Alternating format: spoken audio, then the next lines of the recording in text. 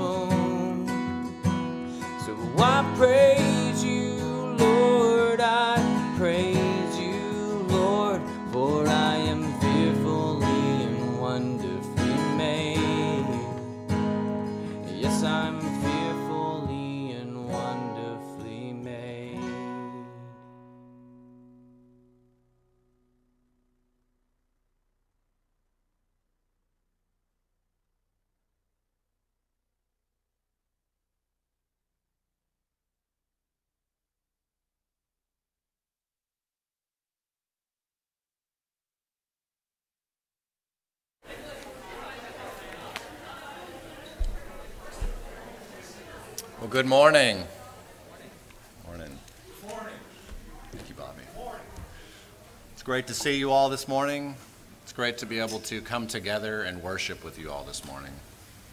And our call to worship comes from Micah 7:18. Please hear the word of the Lord as we prepare our hearts and minds to worship our God and Savior. Who is a God like you who pardons iniquity and passes over the rebellious act of the remnant of his possession? He does not retain his anger forever because he delights in unchanging love. Let's pray. Father, thank you for revealing your character to us. You tell us that you hate sin and rebellion, yet you pardon those who have rebelled against you. We ask ourselves why you would do this, and you tell us. It's because you delight in loving your people by forgiving them. And Father, we praise you because this reality does not change. You loved your people 2,000 years ago, and you still love your people today. This love is vividly seen at the cross. Forgiveness cost your beloved Son his life. He died so we could live. We who believe and trust in his life, death, and resurrection, we who trust in the promises of God and Christ fulfilling those promises, and we who continue and grow in our trust are forgiven and restored to you. Father, please increase this trust. Help our unbelief. Help us believe in the power of the Holy Spirit. Help us remember that the power that raised Christ from the dead and established the church is the same power that we have to help us believe and change. May we grow in mortifying our sin and grow our character and doctrine so we can grow in our love for you and others. Thank you that we have you, your word, and your people to help us with this. Amen. Please stand as we begin our time of singing, uh, lifting our voices in praise to the God who cares for us so tenderly and so father-like. Here we go. Praise my soul,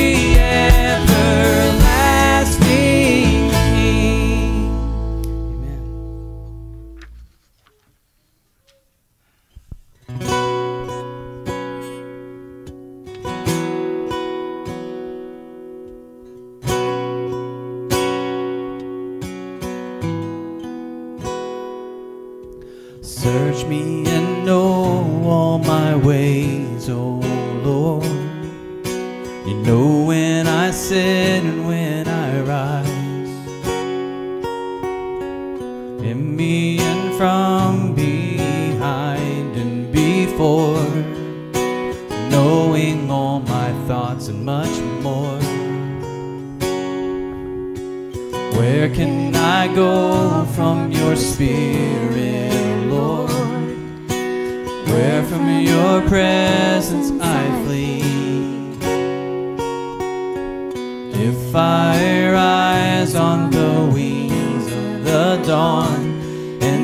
darkness you shine as the morn.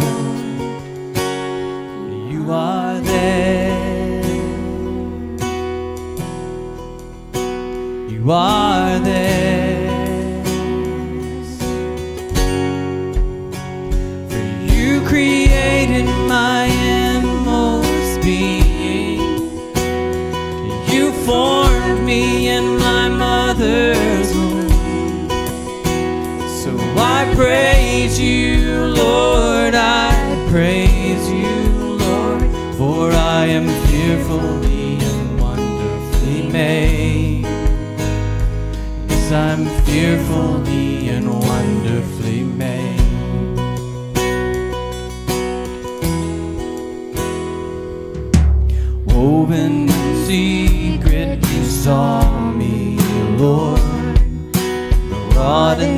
depths of the earth. All of the days you ordained for me, written down before I came to be. Precious to me are your thoughts, oh Lord. To count they are more than the sand. For justice I earnestly cry, search me then for my heart cannot hide. You are there. You are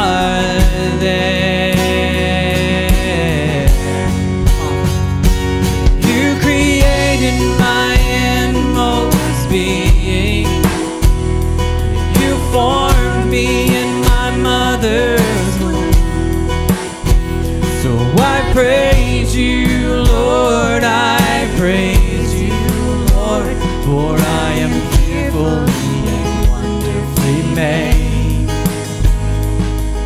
I'm fearfully and wonderfully made. Sing again.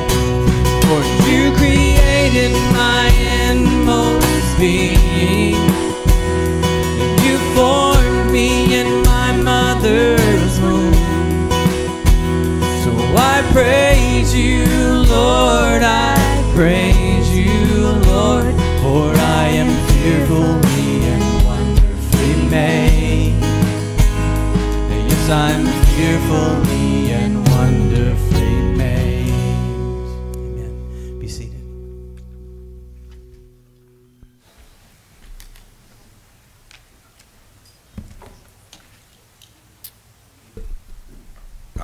Scripture reading this morning comes from 1 Thessalonians chapter 4, verses 1 through 13.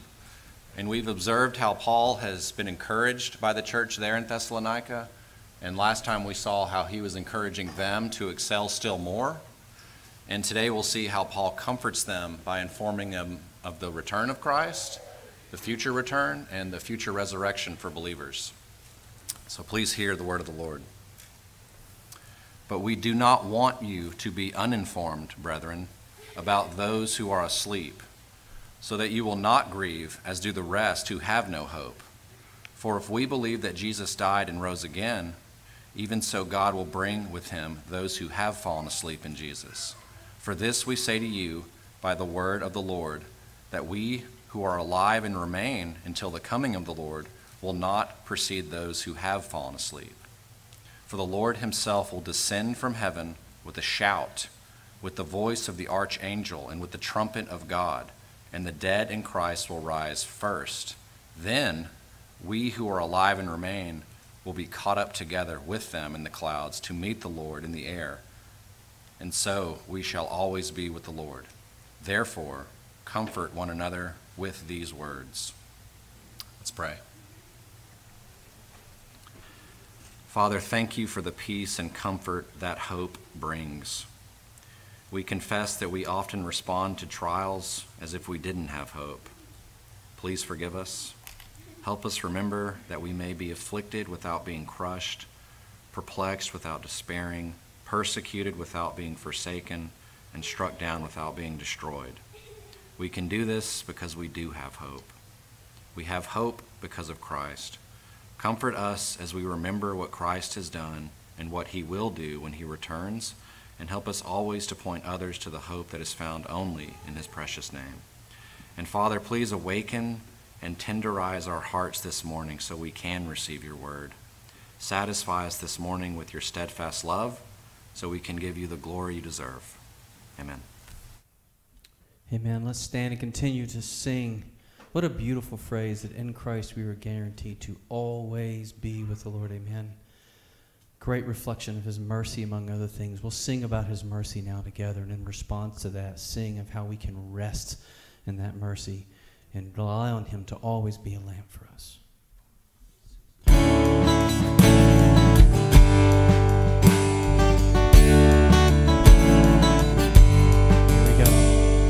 Debtor to mercy alone, of covenant mercy I see. I come with your righteousness on my humble offering to bring the judgments of your holy law. With me and have nothing. My Savior's obedience and blood hide all my transgressions from you.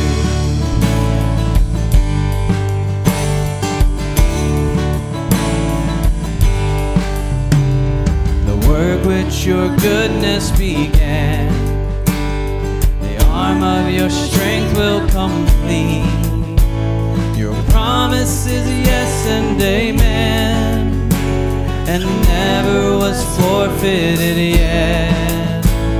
The future are things that are now, no power below or above can make you your purpose forego or sever my soul from. My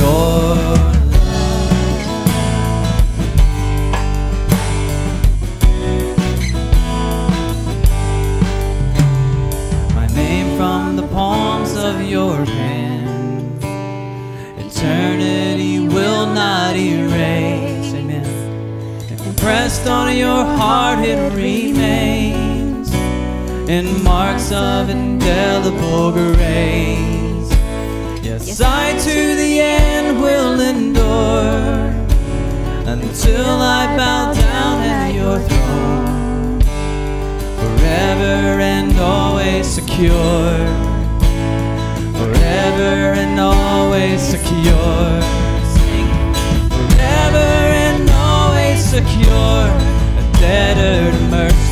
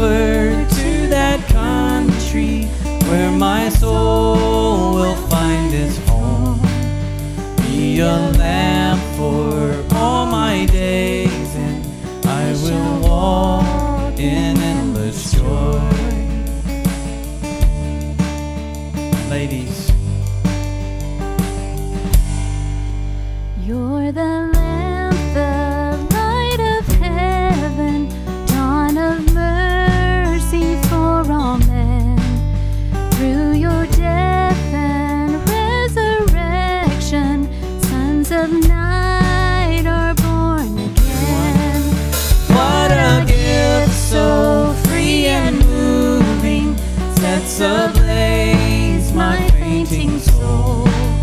Be a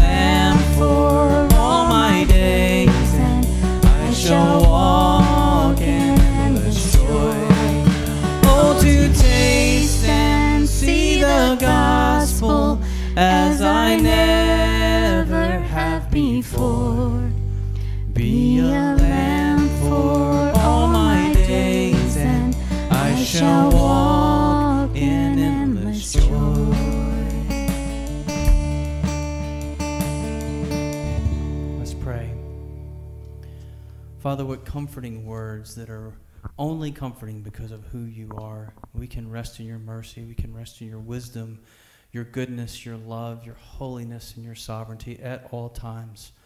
And we ask that the words of, what we just sang, that even in deep, dark trials, that we would see the gospel through those trials and your mercy and your love as we've never seen them before. We think about those things now, Lord. We pray for the Appersons and many others who are experiencing difficulty now. And we ask for our church to be the hands and feet of Jesus in these times, to compassionately extend that love for the gospel, for the purpose of, of demonstrating to others that we are true disciples of Christ by how we love for one another, as well as for the sanctification of our church body and the families involved in that. We pray for your blessing today on the words of Scripture that have been read to us, that have been sung by us and referenced by us and spoken by us in our fellowship and are about to be preached to us, that your Spirit within us would enlighten our eyes and would help to move us to respond in obedience and growth to those things. We thank you that you are our God and that we rest in Christ alone. In his name we pray. Amen. invite you to take your Bibles this morning. If you'll turn to Job 32. Job 32, we're going to pause our study of Hosea this morning and take a, just a moment to look at a, a key text here. If you're not sure where Job is, if you find the middle of your Bible, you'll find the Psalms. And then right before the Psalms uh, is Job. You're familiar probably with the story of Job and the man who suffered much.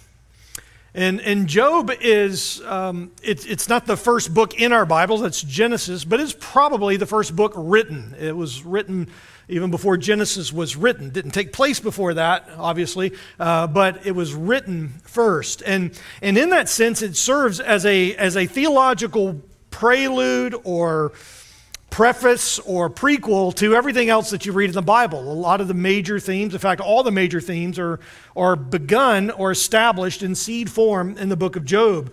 And you don't have to, to live very long to know that the world that we live in is, is fallen and things are not as they should be. And I received a call on Wednesday night that opened up a, a whole new experience of pain and suffering for our congregation and one family in particular that I have not experienced before. And I think many, that would be true for many of you. And, and honestly, I haven't been able to think about much else since then. And, and it's in moments like this that there's a right impulse amongst believers. And I'm not talking about the world this morning, I'm talking about what's going on out there and all the craziness. I'm just talking about us. This is a family discussion this morning. There's a, there's a good impulse amongst believers, and that is to, in moments of tragedy and suffering and difficulty, to want to say something, to want to do something, to want to be present. Let me encourage you, that is a good thing. Uh, to want to say something, to want to help, to want to help with your words, to want to be there for them, to want to do something that would reach out to them in, in some way, those who suffer. And as I was thinking about that, and as we were driving to the hospital on Wednesday evening, um, my mind, my thoughts just kept going back to Job, and not just Job and his situation, but Job and his counselors. On Easter, a couple months ago, a few months ago, I did, I did something I've never done on any previous Easter. One was I preached to an empty building, and two, I preached from Job and the resurrection in Job. And yes, it's there. Uh, and the central message of Job is that there is a Redeemer. And and, and, if we kind of zoom out for a moment, the book has it all. And if you're not familiar with the story, here, here's what you need to know. The, the book of Job uh, is, just has a little bit of everything going on in it. You have a hero that goes through heartbreaking disaster. You have interesting characters who act as foils. They're supposed to be friends, but they act as foils to Job's path. You have a crazy wife or one who is not helpful, shall we say. Uh, you have a behind the scenes conversation between God and Satan. You have all kinds of things going on there. You have the journey of friendship, the loss of family, the unimaginable physical suffering, strained marriage, quandary over deep philosophical, theological questions. And, and, and surrounding all of this is the ever present smell of death and disease. And the suffering and calamity part is, is primarily at the beginning, and then it's somewhat resolved at the end. But there's 40 chapters in between that. We think of chapter one, where everything just opens up and it gets terrible very quickly. We think of chapter 42, where most everything is resolved. And if you ever hear that everything's resolved in the end, that's not the case. If you ever hear a sermon to that end, it's wrong because the man didn't get his children back. There were still, still things that were lost. In fact, the, the, the book closes with his real friends, probably some family members, extended family, consoling Job because he's still feeling the pain of loss. But it's all there. But what about the middle? There's a lot of ground there. I think people are intimidated by this book because the understanding that a lot of us have is not caught up with the reality of the meaning of the text. Uh, when the message of Job, what I mean by that is when the message of Job is, is really opened up to us and we see that it's infinitely more than a philosophical text whose meaning is impenetrable, what it actually is is a very encouraging text that points us to God. And the more we understand this book, the more we see God's heart of wisdom. In fact, it's even part of the, what's so called the wisdom literature of the Old Testament. And in this, we see God's heart of wisdom and how He meets us where we are, His desire to meet us beyond all of our superficial needs. Just a quick review, because this provides some background for us. At Easter time, we, we looked at the big questions of Job, which are really the big questions of all of Scripture. These questions set the course for Scripture. It doesn't answer them all in the particulars, it answers them in very big general terms, but all the questions are there. And, and the questions come out like this, and this is just review here Is there an arbiter for me? And we saw this in Job chapter 9. That is someone who can represent both parties, God and man. Job uh, stated it this, this way He says, Is there someone who can lay hands on us both? Meaning, is there someone who can, who can lay hold of God and mankind in his problem, me and my problems? Is there an arbiter for me? Is there an intercessor for me? He talked about that in Job 16. Is there a way where I can plead to God? Is there somebody who will listen to me? In my cries, in my desperation, in my pain, in my suffering? Is there anyone there? In Job 19, the question is Is there a redeemer for me? What an amazing chapter, Job 19. Job knows that his redeemer will not only plead his case, that even if Job dies, and he does, that even if he dies, he says, after his death, from my flesh, I will see this Redeemer. Meaning, Job is telling us right there at the very beginning here's a hint a resurrection is coming. Right there in Job 19, the very beginning. And he says there that even if he dies, he has a Redeemer that will plead his case and redeem him from the pit.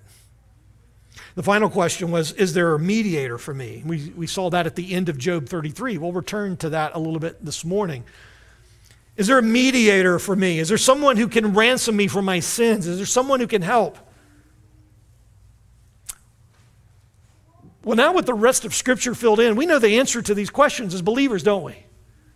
We do have an advocate that speaks for us. We do have a witness that defends us. We do have a redeemer that died for us. We do have a mediator that is merciful to us. We do have all of these things, and all the big questions that Job anticipates are answered in whom? In Jesus. He is the fulfillment of that anticipation. Job could not see all the details, but he knew the questions, and those questions are given to us at the very beginning. Now, a little bit more in the way of background and, and help to understanding this is what's happening in those chapters between the first and the last. And what happens is Job has three friends that come on the scene and they run because their friend's suffering Bildad, Zophar, Eliphaz. Three really odd friends. And, and if you might, you might understand them this way uh, Bildad, he's, he's the scientist ring a bell with anybody here? He's the scientist. And, and as you read his words to Job, he's really dealing with, and all of them are dealing with cause and effect, but he's really explaining things from nature. Cause and effect from nature, which, by the way, as a counselor, is just not always helpful. It's one thing to observe certain things in creation and through scientific inquiry, but, but to reason from that back to God will oftentimes lead us astray, and it will lead us astray if we do not have the light of divine revelation shining on it. He, Bildad, in his scientific inquiry, he, he makes observations. He says, well, just like, you know, papyrus uh, needs water and marsh, um, you know, the reason why they're suffering, the reason why your children are dead is because there's sin in their life and in yours. Not helpful, Bildad. Why don't you keep your science to yourself? Your children are dead because they were in sin. That's what he says to his friend in his suffering. Zophar comes on the scene. He's not much better. He's the philosopher of the group, and, and he looks at cause and effect through philosophical ponderings and trying to get inside the mind of God, which is not possible except for what God has chosen to reveal of himself. And he presumes all manner of things about God and puts himself in the place of God and what God would say, and he's wrong more often than not. You have another friend, Eliphaz. He's the historian in the group, and so he looks at cause and effect through history, the, the cyclical nature of, of the way things go. Well, it happened this way before, that's why it's happening now, and, and so on. And, and here's a central issue with these three. These three friends, they all come to Job and they look at Job as a problem to solve and not a soul to care for. Job is not their problem, and yet they treat him as a problem. And there's another question around these three friends are they believers? Are these guys, do these guys belong to God? Well, we don't know for sure. There's not enough information there. But what we do know is this, and this is unmistakable that their counsel is definitely polluted with humanistic thinking.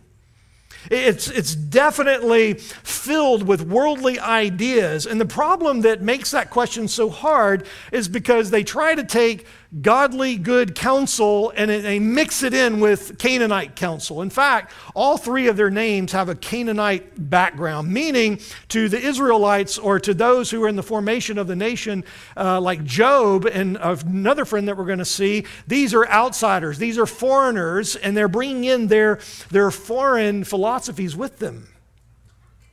It's not to say all foreigners do that. That's not the point. but in that context, to be a Canaanite is to be outside of the wisdom of God. And so their counsel and their perspective is contaminated, it's diluted at best. And you see that in the things that they say. They, they were, in the truest sense of the modern term, integrationists when it came to providing counsel. Because with their counsel, there's just enough truth baked in, but it's laced with poison that, if followed, it will kill. This is why it's hard to discern where they're coming from at times. It's what makes this book very difficult on many of those passages because they'll say things that have a ring of truth, but if you follow it down the path that they're laying, it will lead to destruction. So they're not very helpful. Job, in his wisdom, and he is a wise man, he, he, even in his pain, he recognizes that to a certain degree. In Job 16, he says, I've heard, after he listens to them some, he says, I've heard many such things. Sorry comforters are you all. Then he says, Is there no limit to the windy words? The word he uses there is gaseous. I like Job's sense of humor. Your words are not very helpful. Starting in chapter 32, there's another friend that enters the story, and he's unlike the other three in every way. The, and this man's name is Elihu. And, and you have the speeches of Elihu that begin in chapter 33. He's introduced in chapter 32. And you have a number of speeches. And, and as he enters the story, he plays a key role in understanding the rest of the book. He's really the setup for what is about to come. There's a whirlwind that's coming, and it's going to have God in it, Job. In short, Elihu points Job back to God. If I can sum up all of Elihu's counsel, listen to God. He does speak. He does. Some commentators that you read will say that guys like Elihu here uh, were misled as the other three were, and, and that he's not somebody to, to follow here. Others will say he's a good guy who, in this story, and there's all kinds of issues with that. How do we solve the problem of Elihu in this? Well, perhaps the wisest position is just to let him speak for himself and, and take his words at face value. We can do that with the other three, and we can do that with him here, and let him speak for itself and, and see where this goes and see even God's commentary on this. In fact, after all of this, and I'll, there's a little bit of a spoiler alert, um, God will condemn and he will judge the other three and their words and their counsel, and he will not do that to Elihu, which is alerting us to the fact that he is good in his counsel. He's the only friend not condemned by God. And I believe that's because he's right. He is the one who introduces the initial ideas that God will take up and address directly with Job. So, so in a sense, understand his position this way. Understand that Elihu is a prophet like person for Job, kind of like a John the Baptist. He is a forerunner of God. He is coming along and saying, God is coming. He's going to speak. He's going to show himself directly to you. Listen to him. In fact, that's what he says listen to him. He does speak. And God will do that starting in chapter 38. God is going to deal with you directly, and you need to listen, Job.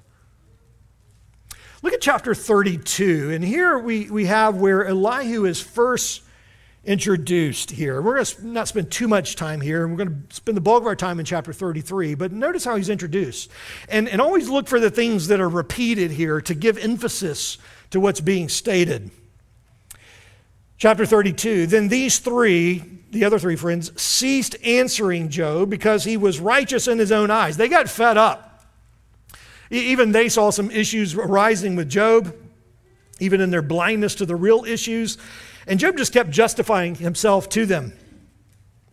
And then here's Elihu standing on the sidelines, but the anger of Elihu, the son of Barachel, the Buzite, and the family of Ram burned. Now, you might think that doesn't mean a whole lot to me, verse 2.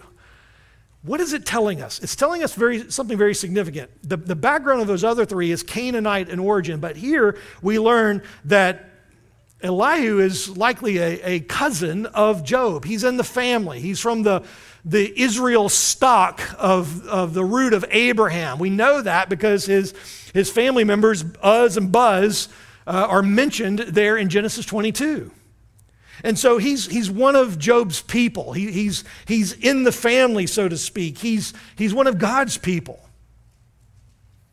And yet the anger of Elihu burned. You see that there. And against Job, at verse 2, his anger burned because Job justified himself before God. And his anger, Elihu's anger burned against his three friends because they found no answer and had yet condemned Job. All you've done is give this guy bad news. You've consigned him to his own suffering and his own misery, and you haven't helped him. Now Elihu had waited to speak to Job because they, those other three, were years older than he. And when Elihu saw that there was no answer in his mouth, the, of the three men, his anger burned. Are you noticing a trend here? Here's, here's what took place. Those other three were older men than Elihu. Elihu, in his wisdom, wisely waited by for those other three older men to speak. That is the way of the ancient Near East. It's not so much anymore, although it should be. But to let the older speak first, let wisdom lead out. And he's waiting, and he's waiting, he's tapping his foot, and he's waiting, and it doesn't come. Now, this turns man's wisdom on its head because, by and large, in the Old Testament, uh, uh, a man with, with a gray head of hair or a bald head uh, is, is a man to, to listen to. He's a man who has some wisdom, he has some years. But in this case, wisdom is turned on its head, so to speak. And it's the young man who speaks up, it's the young man who corrects and brings comfort. And he says in verse 6 I am young and you are old. Therefore, I was shy and afraid to tell you what I think. I thought age should speak and increased years should teach wisdom. Notice verse 8 very carefully. But it is a spirit in man and the breath of the Almighty that gives them understanding. He says something here that is absolutely theologically crucial to the whole message of Scripture. Where does truth come from? Where is truth? Where does it reside? Does it reside within man? Only if God, by His Spirit, makes it alive in man. And ultimately, understanding in the ultimate sense of truth comes only from the Almighty, it comes from God Himself. Special revelation is needed. In fact, that should alert us here in verse 8 to something that we might see later on in the New Testament, 2 Timothy 3 16 and 17, that all scripture is inspired, theopneustos, breathed out by God. It comes as a form of his breath. All of the word of God is from God, it's an extension of his divine character. It is him speaking, even though he does that through channels, he does that in a way that represents who he is fully and completely to his people. The breath of the Almighty gives understanding. And so, because of that, that's what Elihu will rest upon. And, and also, it means that he will not employ the apologetical and or reasoning uh, of the foreigners of the canaanites in this sense in fact he says that at the end of verse 14 i'm not going to reply to job with your arguments talking about the arguments of his friends i'm not going to use their reasoning now, this is important. And, and why is it important? Because this brings us to chapter 33, where is Elihu's first speech. And this is what I want us to spend the rest of our time looking at this morning. It's notable here that in chapter 33, verse 1, listen to this. This is the first time after 32 chapters that Job hears his own name. And I know what you're thinking. So what? that tells us something. In the same way, certain things are emphasized, like the, the anger of Elihu burning against this worldly, godless counsel, this misguided counsel. In the same way, things are emphasized by the way they're repeated, the Bible also emphasizes things by laying silent on it and then bringing it in at just the right moment, such as mentioning the main character's name to his own ears for the first time in chapter 33, verse 1 and he hears it on the lips of Elihu. His three friends avoided even mentioning his name. Their counsel was formal, it was stiff, it was detached from any sense of relationship. And as we get into chapter 33 this morning, I, I want us to reflect on something here. This is what I've been thinking about this week is how we counsel one another. How do we care for each other in the body of Christ? Are there questions that I need to consider before I open my mouth to speak? Are there presuppositions that must guide and guard my good desire to want to help someone in their suffering? So, what I don't want to do is, is throw fire on anyone's desire to want to help fellow believers, especially those who are suffering in our midst. What I do want to do is cause us, in some respects, to pump the brakes in certain areas and help us think more biblically about some of these things. There's some really good help that comes to us through the mouth, through the vessel of Elihu to Job and for our benefit in chapter 33. I want us to consider this this morning. Number one, am I living my own counsel? Am I living my own counsel? Am I under the weight of my own teaching? Everyone who teaches, preaches, counsels, disciples should always be asking that question, but every believer should be asking that question. After he addresses Job in 33 verse 1 and 2 and he says i'm going to open my mouth. I'm going to i'm going to speak to you job and i want you to listen. This is what he says verse 3 this is 33 verse 3 my words are from the uprightness of my heart and my lips speak knowledge sincerely. He's already told us where knowledge comes from. Understanding comes from the almighty. And so he's not saying i'm just reaching into my grab bag of wisdom from my you know, 20 something years or whatever how old he was. He's not saying that. He's wanting to speak rightly, but he also wants to speak with a pure heart. I want to make sure my heart is right, that it's aligned with what I'm about to say.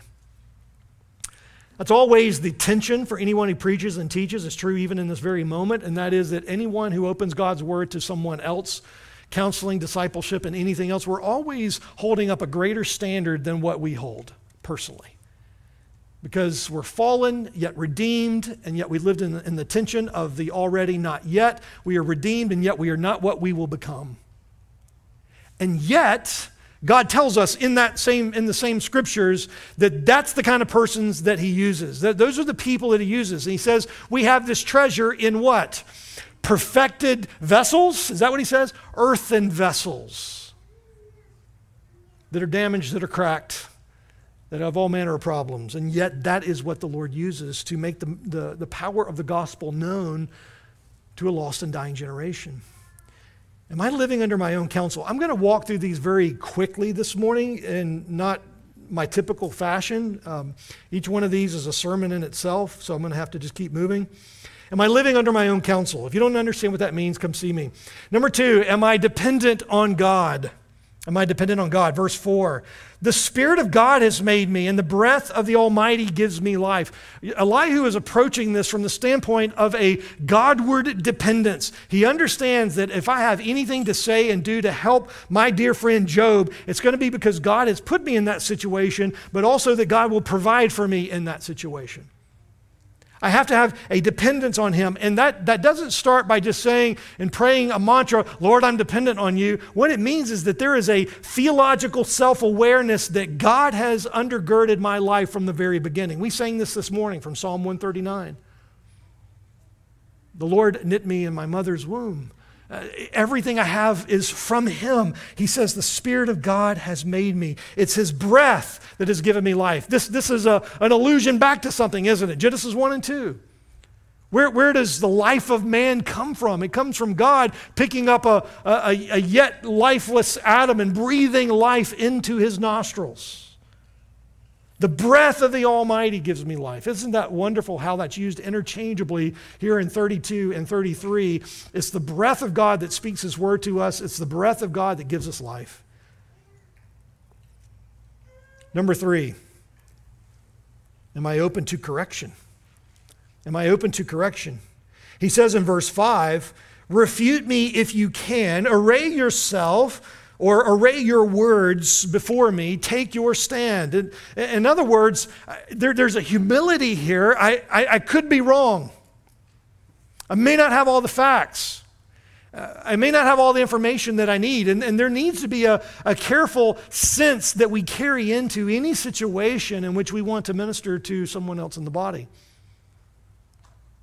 He's not saying, you know, with a, an attitude of arrogance. It's been wrongly interpreted that way. That's not the spirit of this text of what, of what Elihu is saying here. He's not saying, you know, prove me wrong if you can, punk. That's not what he's saying here.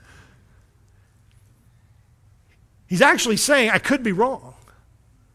There, there's, a, there's a tone of humility here, there's a, a posture of that.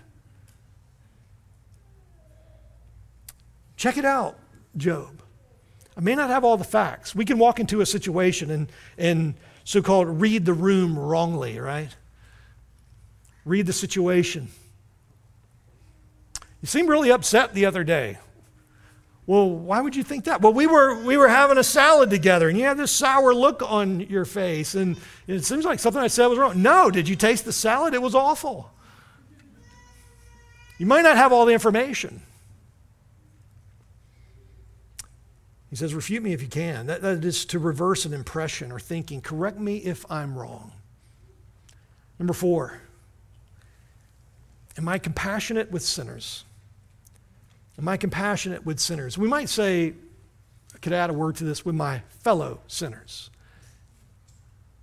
He says there in verse 6 Behold, listen, I belong to God like you. I too have been formed out of clay. Does that ring a bell? Genesis 1 and 2 again? I'm cut from the same cloth, I'm from the same lump. I'm a man just like you.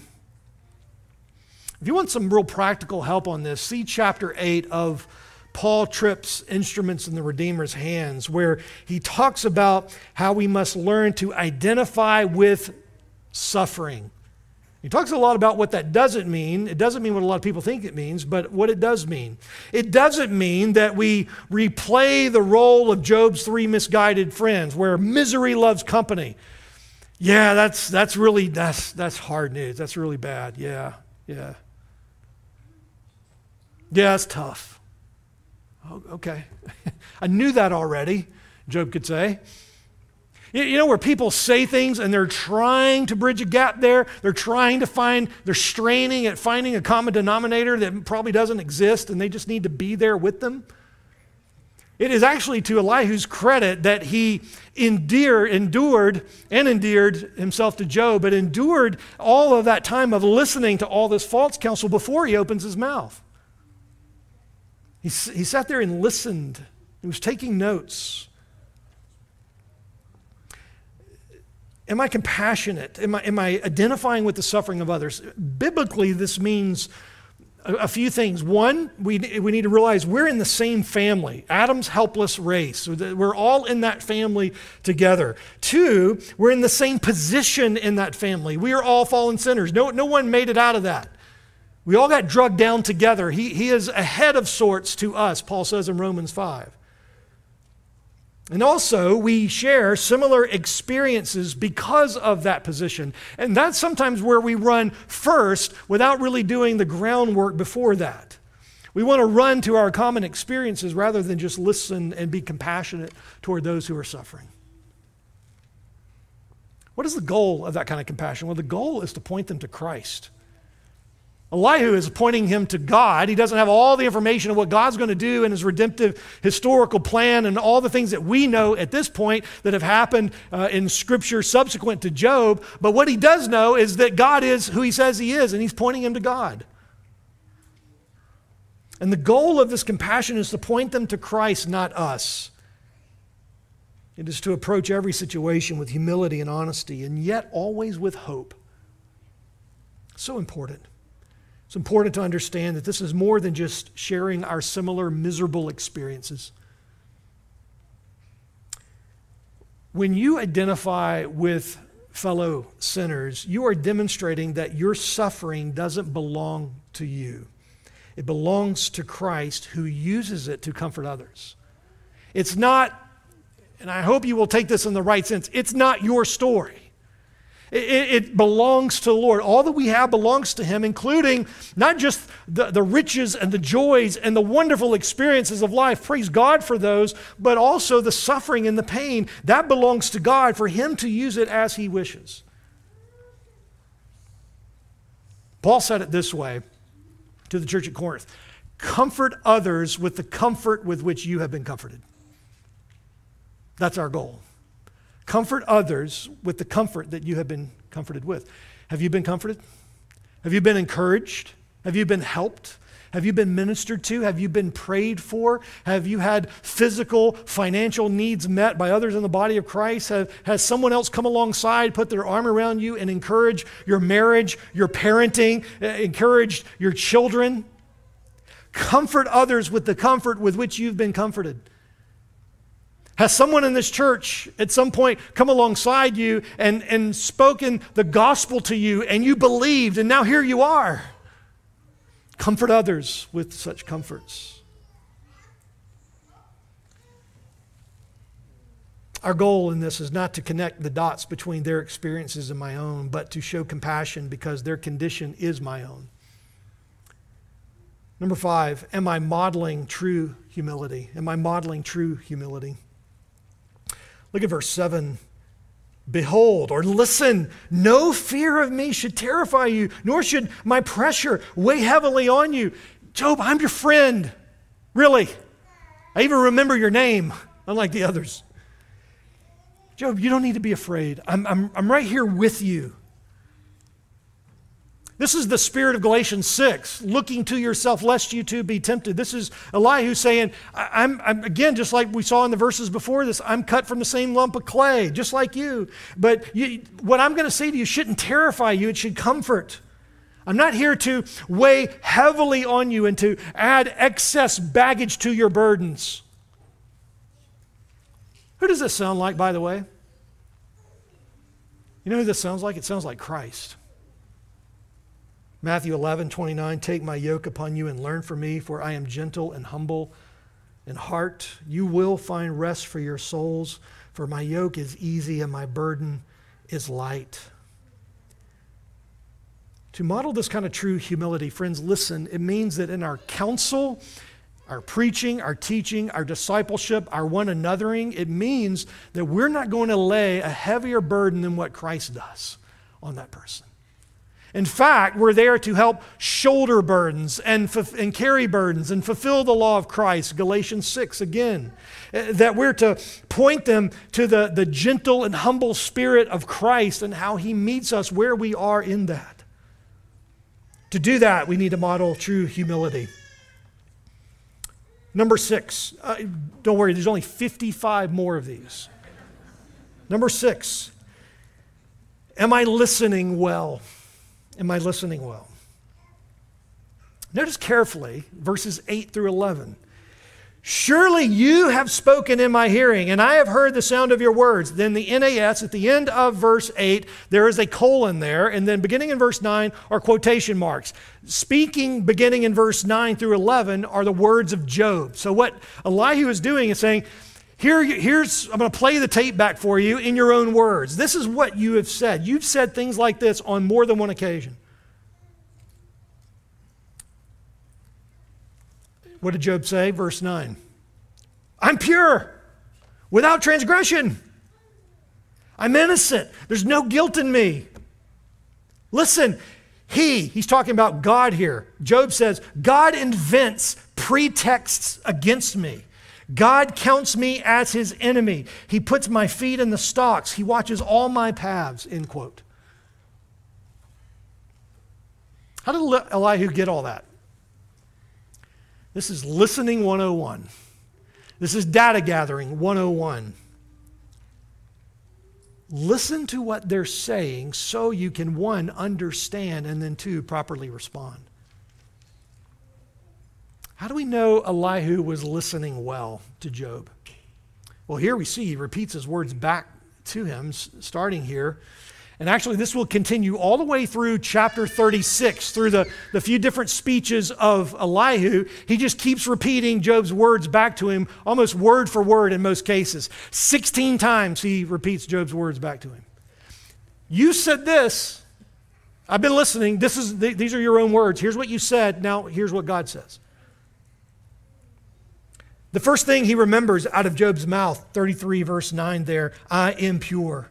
Which, by the way, Job said that on six different occasions.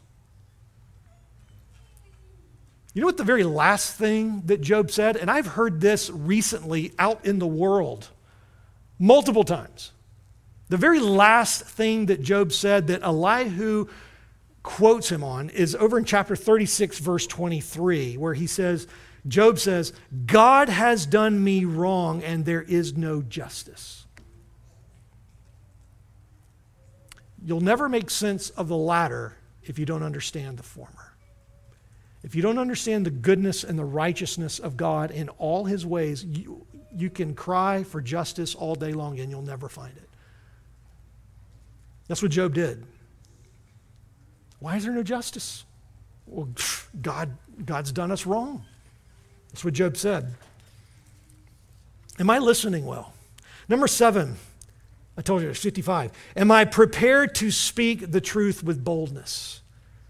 Am I prepared to speak the truth with boldness? Look at verse 12. Behold, or listen, let me tell you, you are not right in this, for God is greater than man. To Elihu's credit, he is sat back, he has listened, he's deferred to older men that should have been able to speak wisdom. They did not in that case. Now he is he has appealed to Job. I'm, I'm just like you. I'm a fallen sinner. I could be wrong. I'm approaching this with humility. I'm coming at this and examining my own heart in this matter, even my own claims to purity. But now, I need to tell you something that might be hard for you to hear. You're not right. There's a boldness in that, isn't there? There's two equal yet opposite dangers in giving counsel, and I see both of these all the time in the church in a lot of different ways.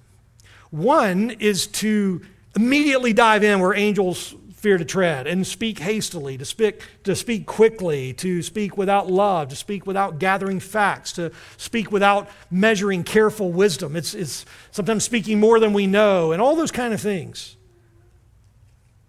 There's an opposite danger. And that's to sit by their side and never say anything at all, thus missing out on providing real hope, real encouragement, and carefully measured counsel in the time of need. It takes a lot of biblically grounded wisdom to know the path between those two errors. And if you're not sure how to do that, watch those who do it well and learn from them in the church. That's mentorship. Titus 2, that's in the right sense, that's godly, wise, older men and older women who their character exudes the life of Christ, and they see that and they are worthy of following in that sense. Am I prepared to speak with boldness? It's only after Elihu has built trust and established the right framework that he begins to boldly address Job's complaint and his accusations against God. Number eight, am I pointing them to the truth? Am I pointing them to the truth? You see this in verse 13. Why do you complain against him? That's God. Why do you complain against God, Job? That God does not give an account of all his doings? Is, is God obligated to do that for us? But let's go with that argument for a moment, Elihu says in verse 14. Indeed, actually, Contrary to what you think, God does speak. In fact, once, twice, and even when He does speak, no one listens. No one even notices. Elihu gives some examples from the time of early Israel and even on into the time of the prophets, where the writer of Hebrews says God has spoken in many different ways and times and epochs, and, and yet now He's spoken definitively in His Son Jesus Christ. But in, in the old days, he did this. Verse 15, in a dream, a vision of the night, when sound sleep falls on men while they slumber in their beds, then he opens the ears of men and seals their instruction, that he may turn man aside from his conduct and keep man from pride. He keeps back his soul from the pit and his life from passing over into Sheol. What is all of that about? He's saying that God has a prophetic role in, in declaring his word, and he's done that through prophets and through the patriarchs. Just ask Jacob in dreams and all kinds of visions and those kind of things. And yet it did not always uh, accomplish in the sense of what man should have gotten from that, what, what God intended. Instead, what they got was judgment. And in that sense, God's word always accomplishes what it intends. God would speak to them in order to turn back their lives from the, from the pit. And yet, what he's saying here, no one even notices. Want an example of that? We've been studying Hosea together. Israel doesn't listen. Am I pointing them to the truth? He's saying here, God has spoken. Now, at this point in redemptive history, we can say definitively not only that God has spoken, we know what God has spoken. He has given us His word, the breathed out word of God. Am I pointing them to the truth? Or am I receding back to the mixed counsel of the Canaanites? Finally, number nine, am I showing the only hope in Christ? Am I showing the only hope in Christ? Now, Elihu doesn't have all of the information here. We do know from reading Job that there is definitely, a, in, in, as Revelation progresses, that there is a, a messianic understanding. There's an understanding that a Redeemer is coming who will, who will pay a ransom and who will even resurrect a people from the grave. It, we, we know that by reading Job and Job's own words. And yet they don't have all the information of what will come subsequently in the rest of the Bible. Not yet. But in that sense, in the same way Elihu is pointing Job to his only hope in God, we, with more revelation, can point them to our only hope in Christ. In order to do that, you need to understand the order of things here. First is the bad news. You have to understand the bad news. And, and he gets into this in verse 19 through 22. He says, Man is also chastened with pain on his bed and with unceasing complaint in his bones. Some of you know that literally. You felt that this morning, right? Isn't it an amazing discovery of age that we can go to bed healthy, feeling great, and wake up and somehow in our sleep we've hurt ourselves?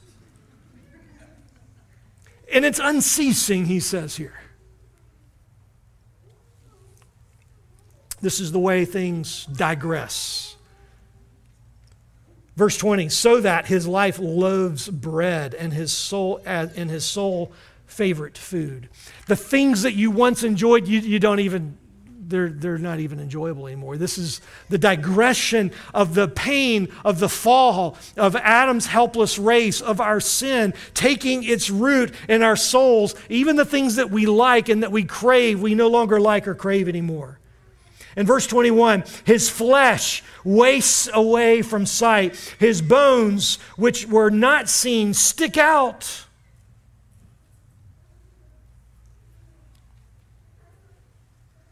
You ever been to the Clearview Cancer Center here in Huntsville? The first time I walked in there, it was a jarring scene for me because I thought I had walked into what I had only read about up to that point into a concentration camp where this very thing was everywhere in front of me.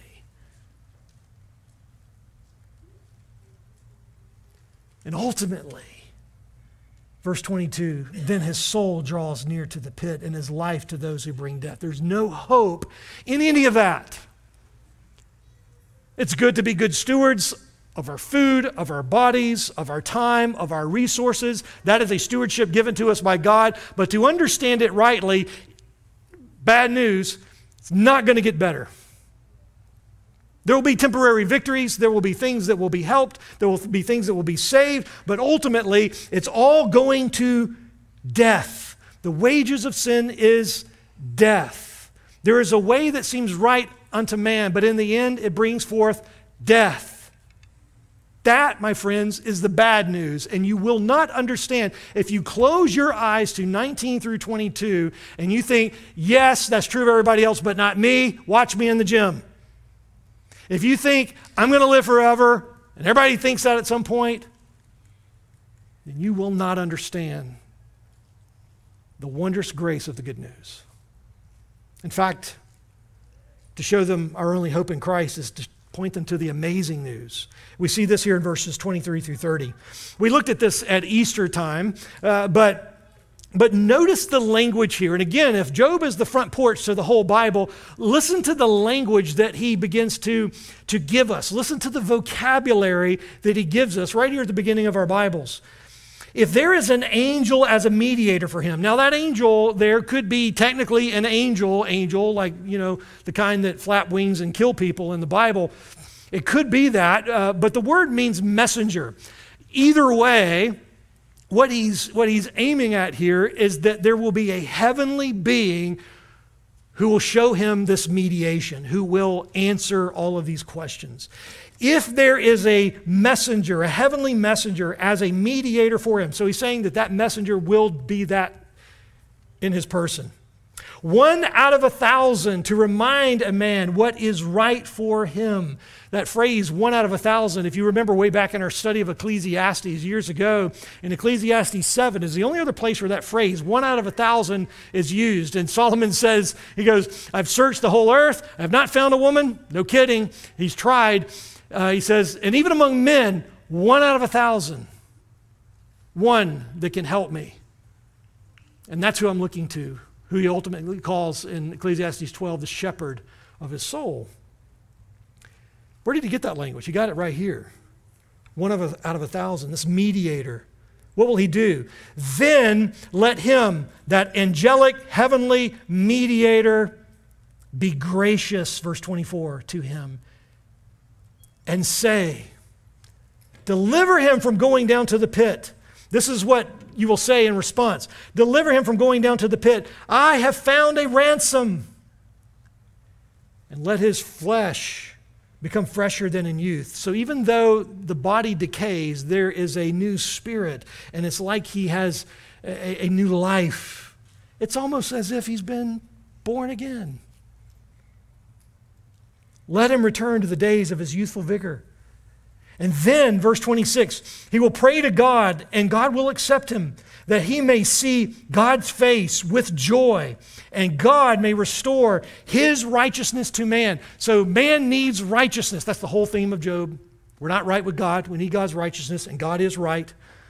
And God sovereignly will bestow his righteousness. God will impute his righteousness. It does not reside within us, resides alone in Christ.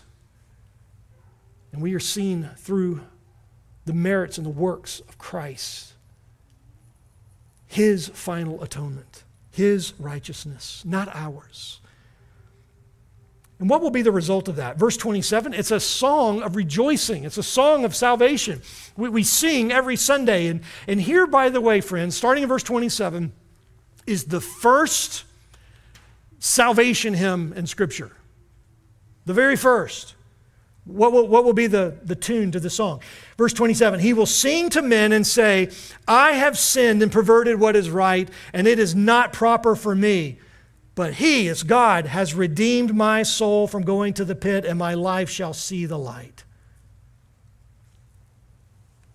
That's the first song, the very first one.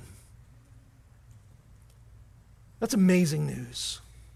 What we have here is the language of salvation the language of hope, the language of restoration, the language of, even though the word's not used, covering, forgiveness of sins. He has redeemed my soul. My body is still going to waste away. Job said that. But even from my flesh, I will see God. I love the end of that. Is that just Job that God does this for? Verse 29. Behold, listen to this God does all of these oftentimes with men. this is the way God is. Our God is a saving God. This is how he responds. This is his desire. This is his, his, his work to bring back his soul, verse 30, from the pit, that he may be enlightened with the light of life. Am I showing the only hope in Christ? The bad news, the amazing good news, and then what else is left to do? It's to do what Elihu did. It is to plead with them to listen and respond. You and I cannot change someone's heart. You cannot comfort someone who refuses to be comforted. You ever tried that? But what you can do, whether they're an unbeliever or a fellow brother and sister that's suffering in Christ, is you can plead with them to listen and respond in patient, humble love. Look at verse 31. Pay attention, Job. Listen to me. He uses his name again. He's endearing himself in personal way. Listen to me, Job. Keep silent and let me speak. Then, again, the humility of Elihu. Then, if you have anything to say, answer me. Speak, for I desire to justify you. I want to help you out. If not, listen to me and keep silent, and I will teach you wisdom. You know what happened? Job kept silent. And Elihu did exactly what he said he would, and he paved the way for God. And God comes in chapter 38, and he comes in the form of exactly the way he said he would to Job. Elihu said he's coming, and it's going to be a whirlwind, it's going to be a storm. You think a storm has come, wait till you see God. And God is your Redeemer, God is your friend, God is your only hope. And the good news is that he's not like us. We have people right now, today, dear beloved saints, that are suffering, that are in pain, that are, some may be suffering that you're not even aware of how they're suffering. Maybe they can't even put words to how they're suffering, but God knows, and possibly God has and will providentially bring you across their path today, this week, this month, this year, in order to, to be this to them, to be the light of Christ in their life, to be hope and encouragement and patience and love. Meeting physical needs, meeting financial needs, meeting ultimately spiritual needs that are present. This is true for us because this has happened. And it's happened definitively and historically in Jesus. Everything that Job hoped for came true in Christ. Everything that Job closed his eyes wishing for and hoping for at the very end of his life when he lays down his life in the dirt, it all came true the Redeemer, the Mediator, the hope, salvation. And my life shall see the light. Have you thought about this? That one day when we are joined together with Christ and we will all be with Him forever and ever in a new heavens and a new earth, the front porch to an eternal state, that Job will be there with us because God has fulfilled His promises and will. We're celebrating communion this morning. And we're doing that because we are celebrating what has taken place already for the believer. In other words, by taking communion, this doesn't mean that we hope this will happen for us by taking it. That God will see our good works, that He will see our life, and that He'll say, There's one of my own. But actually, He'll see us in all of our frailties and all of our suffering and all of our pain. He has noticed us, He has seen us, and He has said to us in no uncertain terms, they can't help themselves, they cannot save themselves, they cannot rescue themselves. Only I can do that in Christ. And He's done that at the cross. Jesus, a real man, very God of very God, fully God, fully man, came to this earth he walked this earth with perfection, without sin. He walked in every way, in every path that we would walk in this life, every manner of temptation thrown and hurled at him, and yet faithful to the end, without sin. So that he could now rescue us from our sin. And he did that by dying on the cross. And he did that on that cross by having our sins, our transgressions, our nature nailed to that cross in such a way that it's not held against us. What was and should have been held against us was held against Christ. Not because he deserved it, but because we deserved it. and He has ransomed us, and He has put Himself in our place as our substitute.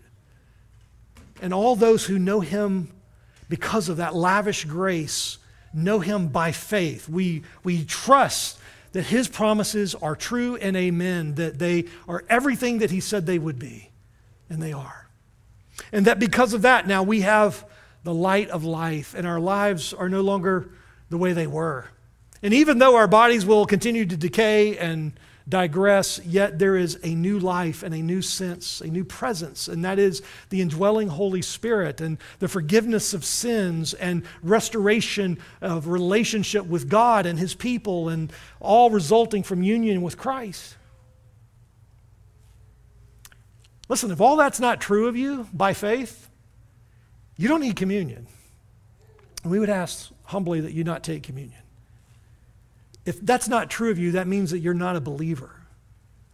But the good news is that you can confess your sins. God knows exactly who you are, He knows exactly what's in your heart. And He stands ready to forgive, ready to cover, ready to ransom, ready to heal, restore, and redeem for all who come to Him in faith, receiving what only He can give His grace and His mercy. I invite you to the table this morning. If that is true of you, if it's not, just hold back for a moment. Come and talk to one of us. We would love to talk to you more about what it means to follow Christ. This morning, as you came in, you should have received a little disposable communion cup. If you don't have one, you might have missed it. Just slip up your hand if you need one, and our guys will get those to you. Just slip up your hand so they can see you. Some over here. As Ben Holland led us in communion a few weeks back, and he reminded us uh, there's a, a top portion on this that has a piece of styrofoam in it. You know, even this is a reminder that things are not what they will be. That Jesus, in the night in which he was betrayed, he took bread and he broke it, and he said that there's actually a, this is a foretaste of a, of a greater feast that's going to come, and I will have this feast with you, and I will finish this feast with you in his kingdom. This morning, even what we take here, this is a reminder that not only the styrofoam, but this is a reminder that things aren't right. That we're in the midst of a pandemic and there's things going on in the world and everyone's got opinions and all sorts of things. And yet, here we are. God calls us to commune together with one another and to remember Christ. As we do that this morning, would you search your heart, confess sin, but yet also rejoice that God has already forgiven our sins for all who come to Him? Would you pray with me this morning? Lord, we ask that you would work in our hearts your truth, your word. Lord, so that we would taste afresh your grace and your mercy as we are reminded of how good you have been to us as a church, as a people, as individuals. Those who are suffering this morning, Lord, we pray that you would bring to mind and heart and to their lives the very fact that our gracious Lord stepped out of a perfect heaven and stepped into a sin ridden world and suffered not just with us, but for us. And now lives ever to make intercession for the beloved. So we cast our needs, our cries, our hurts, our pains before Him this morning, knowing that He cares for us in our need. We ask this and we give you thanks in Jesus' name. Amen. Paul said, I received from the Lord that which I also delivered to you, that the Lord Jesus, in the night in which he was betrayed, he took bread and he broke it. And when he had given thanks, he said, This is my body, which is for you. Do this in remembrance of me. If You would open up the ever so carefully as not to dye our carpet that's already blessed with coffee. This cup, someone said the first time we took it, it's really small. It is. And yet, what it represents is eternal. uh, what it stands in for this morning is something that we will never get to the bottom of, and that is the vicarious death, the blood of Christ. His robes for mine. We'll never get to the bottom of that. We'll never fully drink that cup. And one good part of that is because Jesus has already had that cup to the fullest for us. He drank it to its fullness. He drank of the cup of God's divine wrath so that we would not experience that. And so now, as we take this this morning, we understand that Christ has done this in our place. And he told us what this cup represents. He says, Paul says, in the same way he took the cup after supper, saying, This cup is the new covenant in my blood. That new covenant reminds us that the Holy Spirit has come to indwell us, that we have free and full forgiveness of sins, and that we have union with Christ. We belong to him, and every single person who's in the new covenant knows the Lord Jesus. This is my body. This is the cup, the new covenant in my blood, which is for you. Drink it as often as you drink it in remembrance of me. As often as you eat this bread and drink this cup, you proclaim the Lord's death until he comes. Amen. Amen.